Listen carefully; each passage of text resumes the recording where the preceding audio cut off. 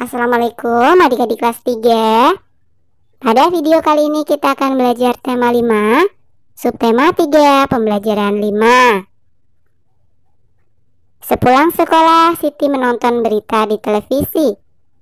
Pembawa acara menyampaikan perakiraan cuaca hari ini. Cuaca di daerah Siti diperkirakan hujan. Awalnya Siti berencana bermain sepeda bersama Lani. Setelah mendengar perakiraan cuaca di televisi, Siti mengurungkan niatnya.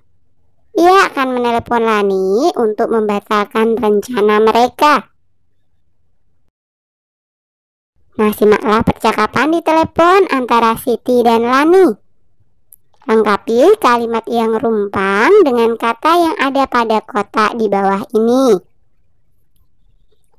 Ada kata perakiraan, mendung, berawan, sepeda, batalkan, esok, hujan, dan cerah.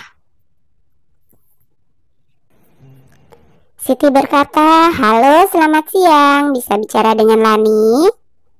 Lani menjawab, Halo, iya ini Lani. Siapakah ini? Hai Lani, ini Siti, kata Siti. Hai Siti, ada apa? Tanya Lani. Lani, aku baru saja menonton perakiraan cuaca. Diperkirakan sore ini akan berawan dan mendung di daerah kita, kata Siti. Oh ya? Wah, padahal kita berencana akan main sepeda keliling kompleks sore ini. Jawab Lani. Siti berkata, iya, sepertinya kita batalkan saja rencana kali ini. Mungkin bisa kita lakukan esok atau lain waktu. Aku khawatir setelah mendung akan turun hujan. Rani menjawab, baiklah Siti, tidak apa-apa. Kita lakukan lain waktu saat cuaca cerah. Oke Lani, sampai jumpa besok di sekolah, kata Siti. Sampai jumpa, jawab Lani. Perubahan cuaca dapat terjadi setiap saat. Terkadang kita sudah merencanakan sesuatu, akan tetapi mungkin tidak dapat kita lakukan. Hal ini disebabkan cuaca yang tidak mendukung. Pernahkah kamu mengalami hal yang sama seperti Siti dan Lani? Buatlah percakapan bersama tiga temanmu. Percakapan tentang rencana yang berubah dikarenakan perubahan cuaca.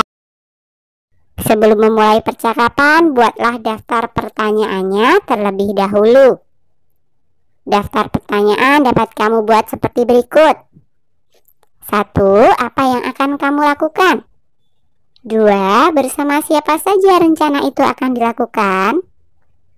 Tiga, kapan rencana tersebut dilakukan? Empat, di mana akan dilakukannya? Lima, mengapa tidak jadi dilakukan? Enam, bagaimana solusinya? Nah, coba susunlah hasil percakapan kalian. Ini hanya sekedar contoh ya. Tiga anak siswa kelas 3 yaitu Budi, Udin, dan Wawan rencana akan bermain layang-layang bersama. Ketiganya sudah berkumpul di teras rumah Budi sore itu. Budi bertanya bagaimana? Sudah siap main layang-layang, Din? Udin menjawab, sesuai rencana sih memang sore ini. Sayangnya cuaca sore ini mendung. Iya nih, sayang sekali. Jawab Wawan. Kata Pak Guru, saat cuaca mendung sangat berbahaya bermain layang-layang. Jelas Budi.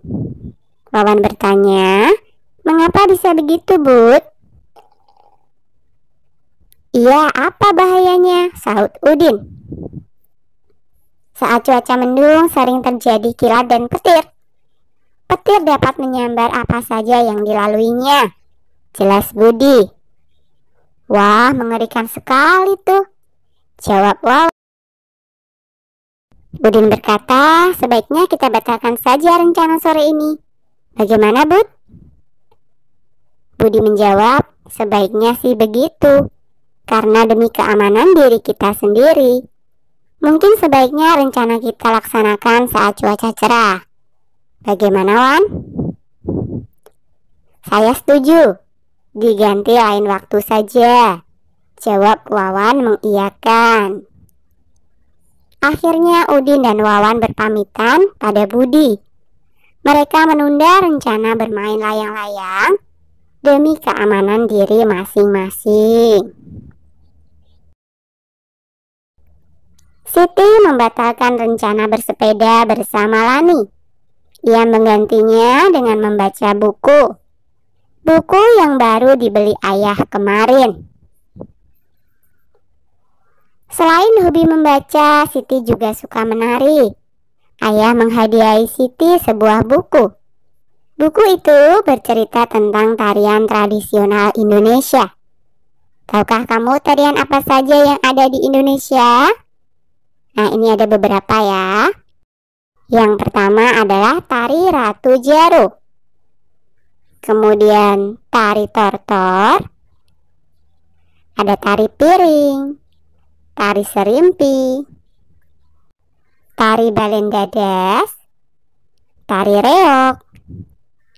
Tari lenso dan tari pendek. Tarian Nusantara sangat beragam. Kita boleh mempelajarinya tidak selalu harus sesuai dengan daerah asal kita. Boleh dari berbagai daerah. Yuk kita pelajari beragam tarian Nusantara Indonesia.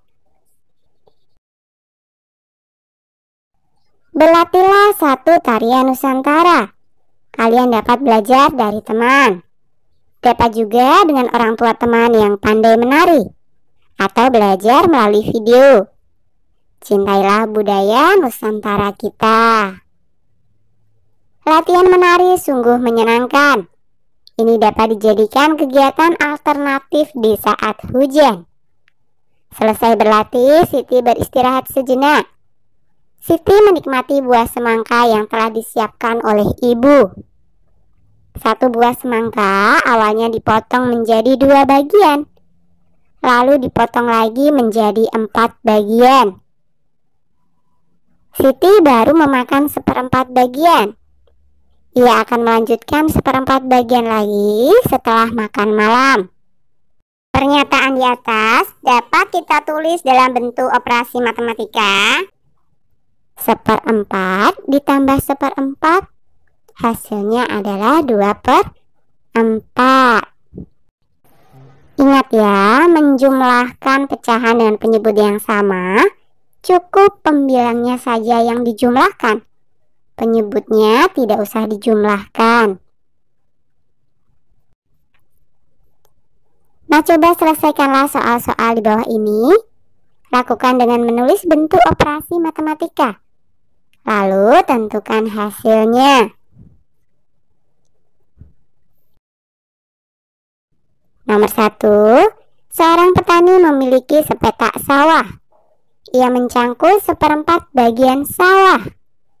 Kemudian ia mencangkul lagi dua perempat bagian sawah. Berapa bagian sawah yang telah dicangkul petani? Seperempat ditambah dua perempat sama dengan tiga perempat. Nomor dua, Benny memiliki pohon rambutan yang sedang berbuah. Benny berhasil memetik seperlima keranjang, sementara ayah berhasil memetik tiga per lima. Berapa jumlah rambutan yang berhasil dipetik Benny dan ayah? Seperlima ditambah tiga per lima. Hasilnya adalah empat per lima. Nomor tiga, Ibu dan Siti akan membuat kue bolu. Ibu menghabiskan 3 per 4 kg tepung untuk satu loyang kue bolu. Ibu akan membuat tiga loyang kue bolu. Berapa jumlah tepung yang ibu butuhkan untuk tiga loyang kue bolu?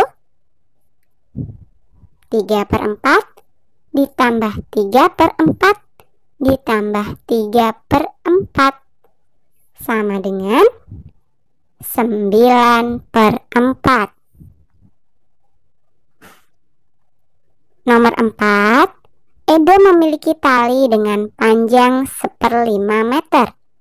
Sementara Beni memiliki tali dengan panjang seperlima meter. Lani memiliki tali dengan panjang 3 per 5 meter. Udin memiliki tali dengan panjang 2 per 5 meter. Berapakah panjang tali Edo dan Beni? Berapa pula panjang tali Lani dan Udin? Tali siapakah yang lebih panjang? Nah, yang pertama adalah tali Edo dan Beni. Seperlima ditambah seperlima sama dengan dua per lima.